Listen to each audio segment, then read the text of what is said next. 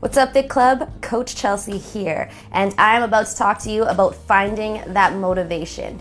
Motivation stems from having a goal. So, what drives you? What do you look for? And why do you want to get fit? Let's take a minute to uncover why you really want to lose weight. And don't be vague by saying, oh, I want to be thinner, or oh, I want to pick up boys or girls. You got to dig deep. What is it that you want? Here are some possible motivators. Maybe you want more energy to be able to chase after your kids, run around with them. Maybe you just want to be able to live longer and get healthier.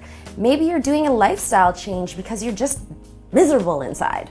Maybe you're just looking for other options or other ways to do things and you're bored. So, whatever it is, dig deep. What is it that motivates you? Take a minute, find that goal, find what motivates you, then get your butt to Fit Club. I have the music, we have the energy, we'll bring you to reach that goal, we'll push you that step further. And here at Fit Club, we're all about 1% better. I'm Coach Chelsea. I'll see you on the blue.